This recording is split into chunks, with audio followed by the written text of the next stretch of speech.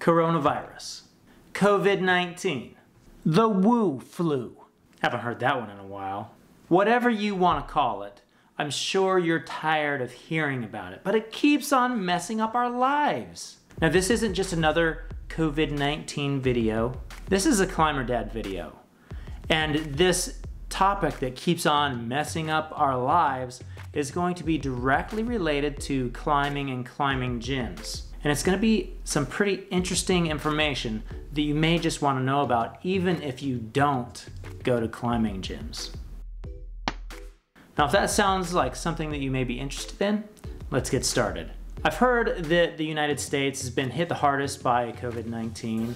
Now, I don't know if that's true or not, but I've taken all of the numbers for this presentation from the United States. I don't think that that really affects how it's going to apply elsewhere.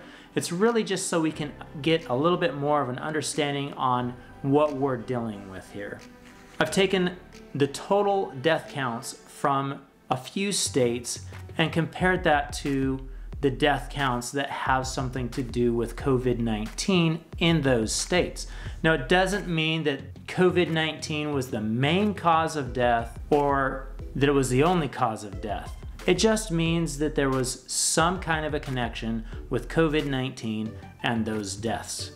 All of these numbers are coming from the CDC website. I'll have a link down in the description below. And I'll have a link for the description of everything that I'm talking about here down below. Tennessee. Tennessee is like one of the best states that you could go to in the fall time for climbing. Don't believe me? Just look it up. The death count that has something to do with COVID 19 compared to all death counts is 4.6%. So 4.6% of everyone that's died in Tennessee from February 1st to October 10th has had something to do with COVID 19. Let's look at another state. Okay, Colorado. Colorado is another great place to go climbing. Should, it's a beautiful place. I hear that it's even a good place for other things. 6.5% of their deaths have something to do with COVID 19. Utah. I have a couple of friends and family that live in Utah, and I would say, just from my personal observation, there is not another place that I've heard of that have, has fought wearing a mask as much as they have in Utah. What's their death count like? 3.4% of their deaths from February 1st to October 10th have had something to do with COVID 19. California. California. That's another great place to go climbing, but I'm sorry if you live there and your government, your local government, is driving you out because they're so crazy. I really hope that that doesn't become America's federal government. Ooh, ouch. So 7.6% of the deaths have something to do with COVID. How about Wyoming?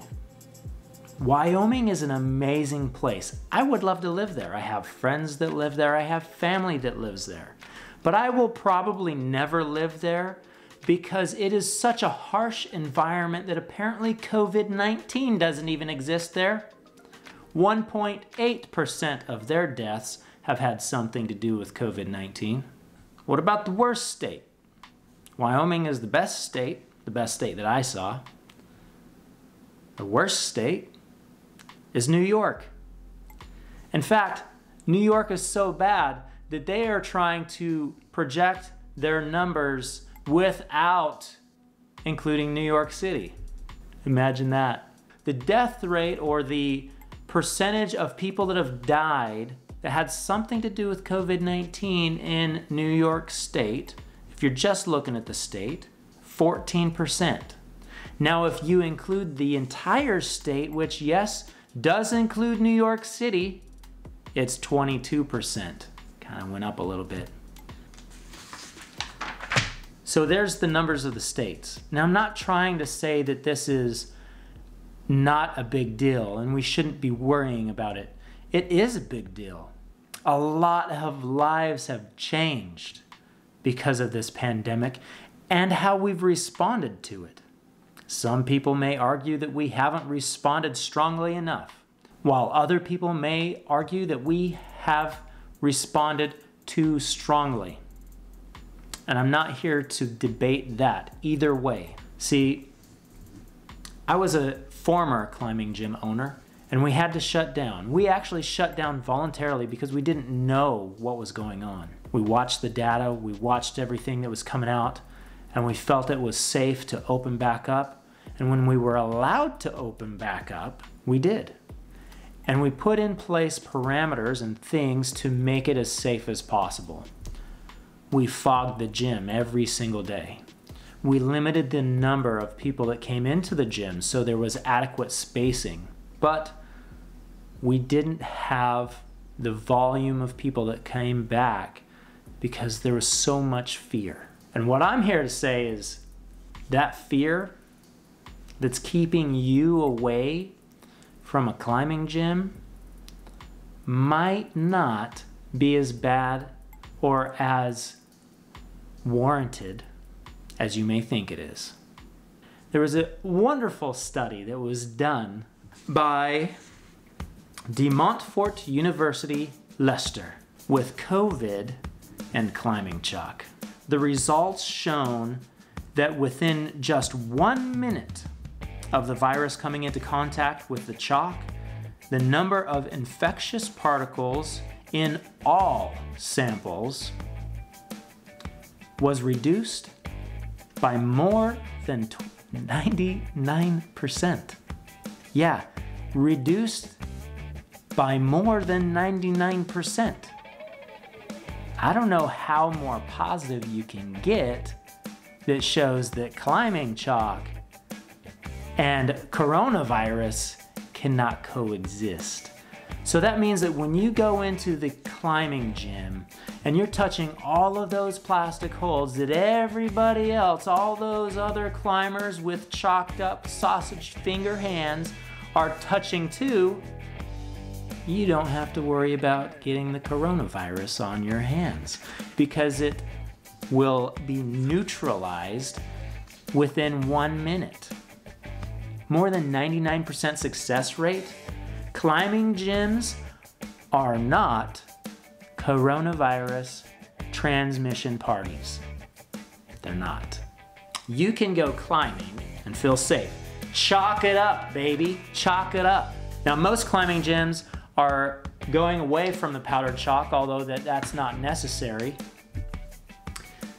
Friction Labs, beautiful company in Colorado, has actually made a liquid chalk that has 80% alcohol in it, which is the required amount for it to be considered a hand sanitizer. Yes, that stuff that your children are bathing in in school, 80% minimum alcohol. You can now just buy some Friction Labs that are hygienic liquid chalk. So here you go, kids. Sanitize your hands. Now, even though Mad Rock makes some chalk blocks that are called chocolate, we probably shouldn't eat this stuff. Don't eat that. But it is a wonderful thing to know that climbing chalk saves lives. And if that's not a t shirt already, I'm going to make sure that it's a t shirt. You're welcome. You are more likely to catch the coronavirus by going to the supermarket or practically any other public area than you are a climbing gym. That actually gives me a good idea.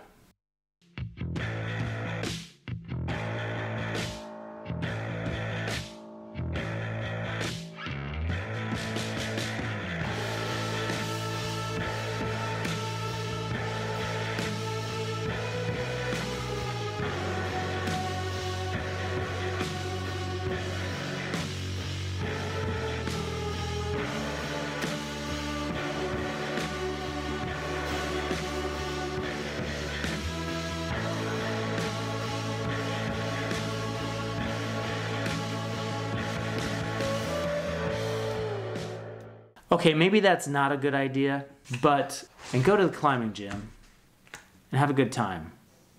Now, My channel typically revolves around climber dad advice towards owner built climbing walls and gyms. Is usually what it's about. I throw some climbing videos in there every once in a while and I get my kids involved also. If that sounds like something that you may be interested in and you're not subscribed yet, hit that subscribe button and the notification bell and I will see you next time right here on Climber Dad.